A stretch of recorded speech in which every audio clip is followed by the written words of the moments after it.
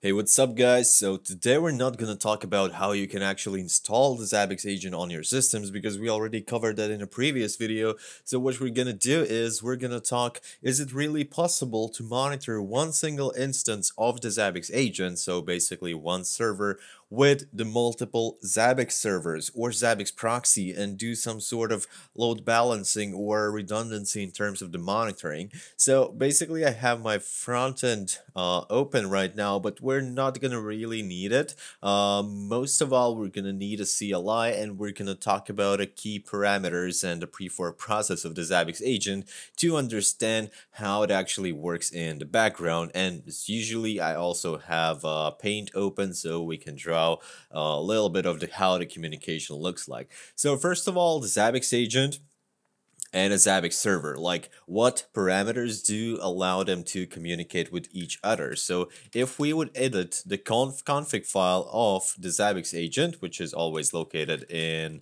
um, uh, in the etc zabbix zabbixagentd.conf, then we basically can take a look on two parameters, the server and also somewhere there should be the server active.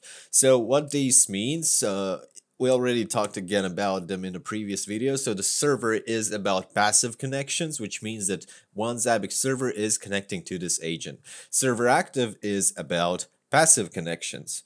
Uh, active connections when the agent is connecting to the server, requesting the config, monitoring the host, and then pushing the data back to the server. So uh, if we go back like uh, and just type psx uh, grep agent, um, systemctl start Zabbix agent and uh, then the ps type.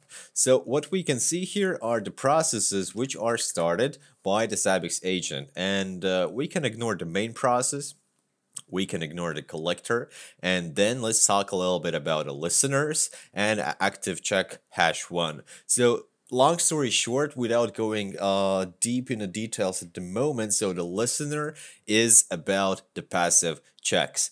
Active checks process kind of yeah, what it sounds like, this is responsible for the active checks. So what happens is when we have, uh, let's say, I'll just type uh, server and agent. Then on the agent, we also have a processes like listener uh, one, two, and three. So let's make them like this. And we also have active checks, hash one. There's only one, right? Like this, yeah. So when we are using a passive checks, which means that item type in the Zabbix frontend here in the configuration host items is just Zabbix agent. It means that uh, we'll take a brush, uh, server, internal process, it's uh, not a secret, it is a poller, is performing connection to an agent to one of the listener processes, which then grabs the data from the host, let's say it's gonna be a CPU and then server waits for this connection gets the data back and yeah get the data close the connection. If we're talking about active checks then active check process from the agent is connecting to the server requesting the config file. First of all get it not the config file but the configuration so getting the configuration and then collecting the data and pushing it back to the server. So all connections are going from the agent to the server can we specify multiple servers? Then let's first of all talk about the passive agent. So it means that if we want to specify multiple servers, then what we need to do is inside the agent config file in the server directive here as a parameter, we need to allow multiple IP addresses. So in this case, it's 127.0.0.1 and it could be server 1 and server 2 and server 3, right? So like this, restart, and then what it will change basically nothing in the agent, but we can have server 1, server 2, and server 3 somewhere outside uh, in our customer's environment or whatever else. And then these, any of these servers will be able to connect to the agent and poll the metric. There are no deeper logic, like anyone who is in the list of the server directive can connect to the agent and poll the metrics. Collect the data from this host, from this agent. And there is no possible like collision because each request, what will be uh, monitored, comes from the server itself. So in the server number two, we might have the item uh, system.cpu uh, load, right? In the server one, it can be uh, net.if.in uh, ethernet0 and in the server 3 it's going to be system.run something. So each of these servers absolutely independently are connecting to our agent and polling the data and uh, there's nothing which uh, let's say would make this a problem for us so everything works without any issues. Uh, only thing that we need to keep in mind is uh, let me get rid of this so if we are, let's say, monitoring a lot of the data, like like I mean it, like really a lot. And we know that there are listener processes on the agent that are responsible to gather this data, which means that which means that eventually those are gonna get like too busy, right? If we have hundreds, thousands of items coming in to this agent to be monitored, and there are only three processes that are capable to collect this data, they might, might get not enough. And in this case, what we can do is go to the agent config file. There's also parameter start agents and uh, uh, let me get here. So start agents, we can change this parameter without any problems. Start agents equals, let's say 10 uh, write quit and we need to restart Zabbix agent and then we can check the PS again. And there we go we have 10 listener processes. But it again doesn't change anything in terms of this schema if you want to monitor one agent with a multiple servers. There is no correlation that let's say listener 1 will always be responsible with a server 1 or server 2 nothing like that. So those are just pre-fork processes that are responsible to process the passive checks and if those are too much too many you need to increase the amount of the uh, listeners of the start agents. But normally with like average setup of the Zabbix usually you don't need to increase those. Uh, 3 default value is absolutely fine. So what about active checks? Like uh, we can forget about all of this. Uh, in case of the active checks we already saw there is just one active checks number one and uh, it's a bit different than the passive ones. There are no parameters in the config file that would allow us to actually increase amount of the active checks. Well, there is, but not really. So there was start agents for the passive, but there's nothing for the active. And uh, what is happening, uh, let me again open my paint. So active checks, this one, this process, it knows which server it has to monitor. And it's always will connect to one server to which it is assigned. And it will pull in the configuration data from it and it will send the monitoring data to again this server.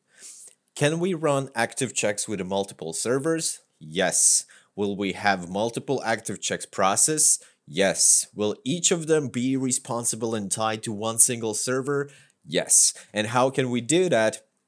We need to open the agent config file and we need to change only the server active directive. So here we have listed IP addresses or DNS name of the servers to which we want to connect. If we want to connect to the second server, let's say server 3, that's it. Just list it in the server active, write quit, systemctl restart Zabbix agent, and now if we would check the PS, see there are two active checks processes, and each of them is tied to its own Zabbix server. So active checks number one will process, let's say, the server number one. Active check number two will process the server number two. And there's absolutely no difference. Is it uh, server or proxy, or those may be two proxies if you're monitoring everything by the proxies. Each of these processes, active check number one and number two, will get its own configuration, not the file, but configuration data from its own uh, Zabbix server or the proxy, and it will collect its own items and send those items to its designated Zabbix server or the proxy, again without any collision. The only thing that you really need to keep in mind with all of this setup, if you want to monitor one single agent uh, with the multiple servers, is active registration. Because as long as you have defined multiple um, entries in the server active, and let's say we are monitoring um, active check agent with the server number two and the server number one, which uh, let's say gonna be not the server in this case to make it more obvious, but uh, let me delete this. So this is actually gonna be the proxy uh, proxy of this server. And let's say we sometimes want to change uh, that this host will be monitored through the proxy and sometimes we wanted to have it through the server. That's why do not change the config file of the agent every time. We have listed both of those IP addresses in the config file. So the thing is that if you have active registration set up, configured with a host name, host metadata, and you have an actions for them in the front end, then what will happen the active check process will send active registration requests to both of these streams. And what will happen? It will send active registration through the proxy. If proxy knows about this host and accepts the connection, it will create a host uh, which gonna be monitored by proxy. That's how it happens. If the auto registration is going through the proxy, then it's also going to be automatically listed as monitored through the proxy. So the host is created, it is monitored through the proxy. Then after a minute, there is another auto registration entry. And this one will come through to the server automatically. And server accepts it because again, we have uh, action uh, with the conditions, filtering the host metadata and other stuff, and uh, everything matches. So the host, again, is, well, it's not going to be really created, it's already there, but it's not going to be monitored by the proxy anymore because this request goes directly to the server, not through the proxy. After a minute or two, again, another stream of auto registration attempt through the proxy and this will going to be again monitored by the proxy. So it will always flip-flop monitor through the proxy, through the server, proxy, server. But you still can use this setup. Like if you want to have multiple server active entries in your agent and uh, list their multiple proxies uh, server directly, it's fine unless you don't have um, actions colliding with an active registration that will lead to the host just flopping uh, between the proxies or the servers. So long story short, I don't know if it was uh, clearly obvious in this video, you can monitor one single agent with a multiple servers or multiple proxies. With a passive checks, so server parameter, no issues at all. You just list all of your servers and a proxies in the server parameter in the agent config file if you want to monitor the active checks, again, you list all of those uh, IP addresses or DNS names in the server active directive, but just make sure about active agent registrations do not fall in this mistake. Thank you guys for watching. Uh, leave a comment, subscribe to the channel for the next videos, and we'll definitely see you in uh, shortly, right? So thank you and goodbye.